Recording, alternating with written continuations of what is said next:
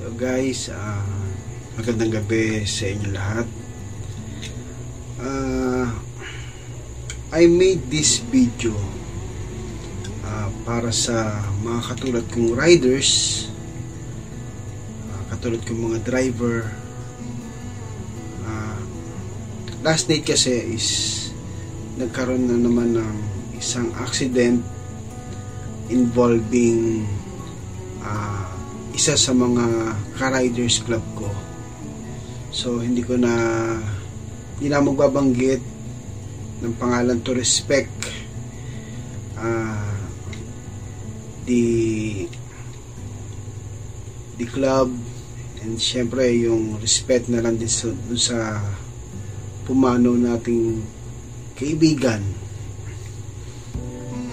So, isip ko I made this vlog para magbigay ng konting konting payo para sa ating mga co-riders dyan. Uh, please, please, please, please, guys, mga paps, don't drink and drive Inuulit ko, please, please, please lang. Don't drink and drive. Siguro, uh, hindi natin maiiwasan talaga syempre isang grupo tayo, isang pamilya tayo. Pag nagkasama-sama, syempre, di maiiwasan mag-happy-happy. Uh, siguro pinaka best solution na lang dyan kung alam nyong iinom talaga kayo ng madami, magsabi na kayo sa pamilya ninyo na hindi na lang kayo uuwi. Or siguro malilate kayo ng uwi kasi magpapalipas muna kayo ng pagkalasing ninyo, bumalik yung katawan ninyo sa normal, at least may chance. May chance na makauwi kayo. Diba? Isipin natin lagi na meron pamilyang nag-aantay sa atin. Lalo na kung may mga anak tayo guys, mga paps. Wala akong sinisisi, uh, wala akong ibang ibig sabihin.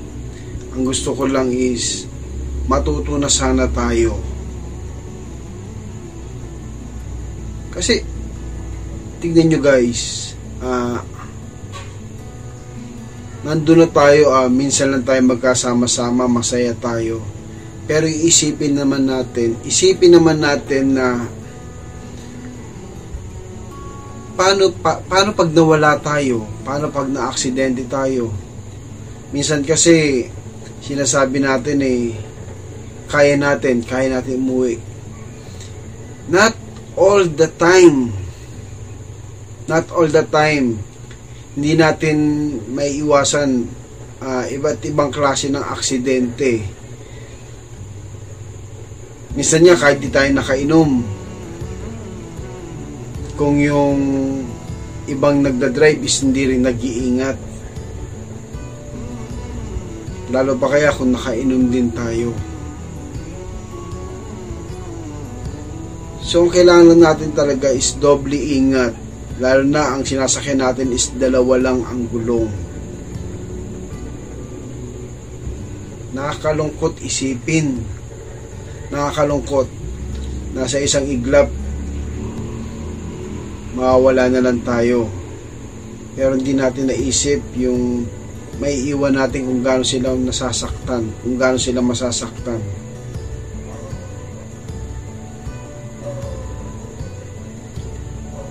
Hindi ko naman sinasabi na isang tabi natin yung kaligayahan natin, yung kasayahan natin bilang riders pag nagkasama-sama. Pero i wag natin isang tabi rin na meron din tayong pamilya nagkaantay sa atin. At tulad na sinabi ko, may option dyan. Kung hindi kaya, Huwag mo na umuwi. Magpalipas muna ng lasing.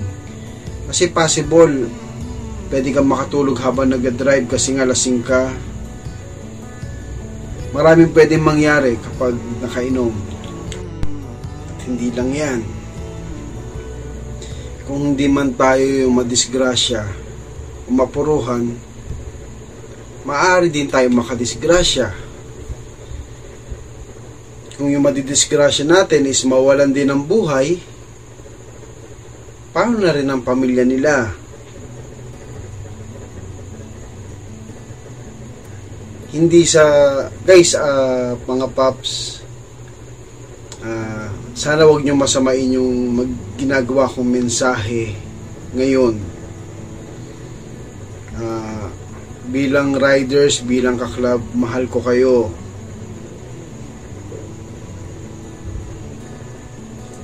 Katulad ng pagmamahal ko sa sarili ko, at sa pamilya ko. Gusto ko ganun din kayo. Alam ko mahal nyo rin ang pamilya ninyo. So kung mahal nyo yung pamilya ninyo, maging responsable sana tayo sa pagiging driver natin.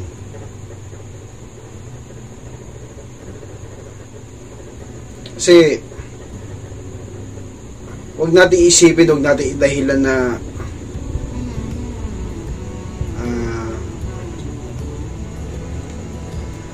kung mawawala ka, mawawala ka.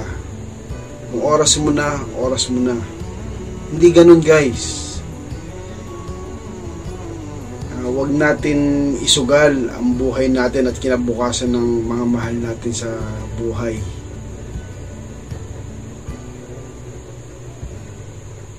Kasi tignan mo, yun nangyari. Isang iglap,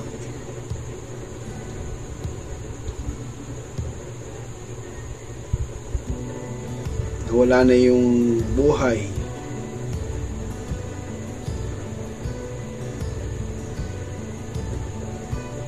Hindi ko alam kung ano pa yung pwede kong i-share sa inyo para matuto tayo.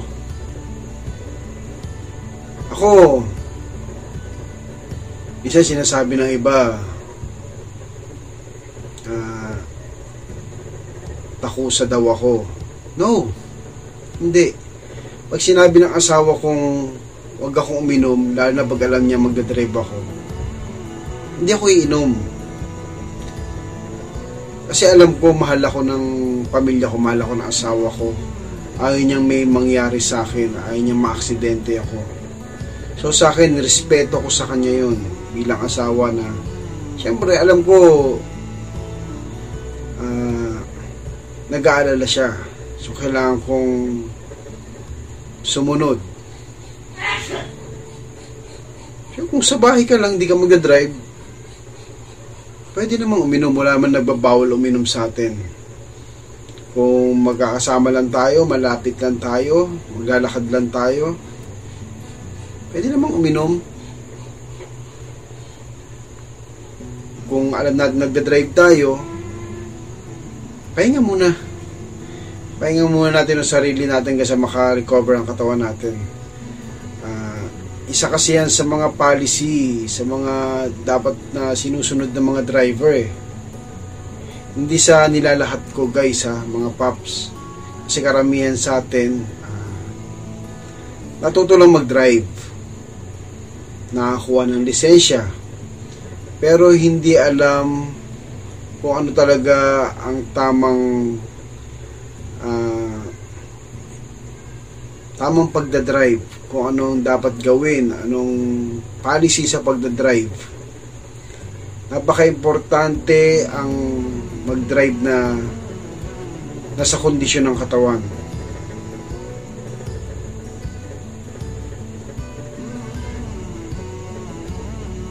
So guys please please, please, please, please lang. Hindi ko inaalis na magkasiyahan tayo, magka, magkasama-sama tayo.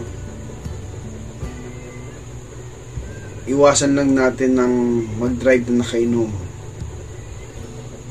Don't drink and drive or don't drink too much kung magda-drive ka. Ganon din sa mga naka four wheels. Kung di ka maaksidente, makaka-aksidente ka.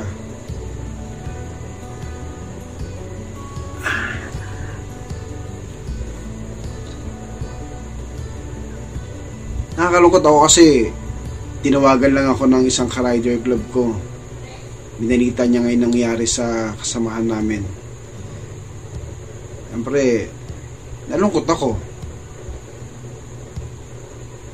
Kasi ako madalas, madalas nagpupunta sa branch yun para magpa-service, ipa-check ang motor, kung okay ba.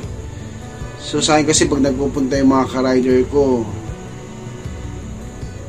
sinusure ko na okay ang motor nila bago silang umalis ng ano eh sa kasa eh kasi driver din ako so sa side natin sa part natin bilang driver uh, responsibility natin ang sarili natin responsibility natin ang pamilya natin Kaya iwasan po natin ang mag-drive na nakainom. Sa mga hindi nakaunawa sa sinabi ko, pasensya na po kayo. Hindi ko intensyon na tapakan yung pagiging lalaki ninyo, pagiging riders ninyo. Ang gusto ko lang po is wag na sana maulit ang mga ibang pangyayari yung mga masamang pangyayari na maaring ikawala ng buhay natin.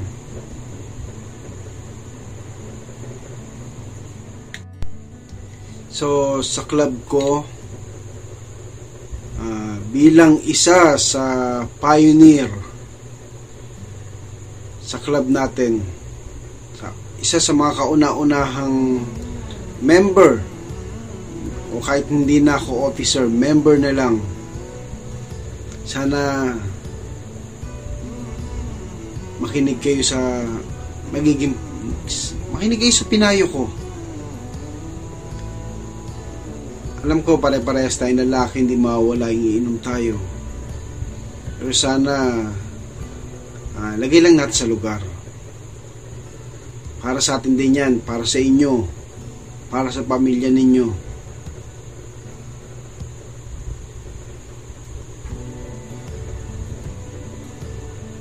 Siguro yung mga bagay na nangyari na ganun uh, nangyari siguro yung para magsilbing lesson. Para siguro panahon na para matuto tayo. Panahon na para itama yung mga ginagawa natin. Pero hindi ko naman sinasabing mali ang uminom. Mali ang mag-drive ng nakainom.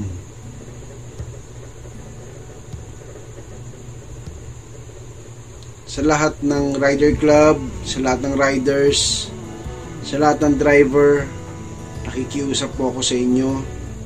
Please, please, don't drink and drive.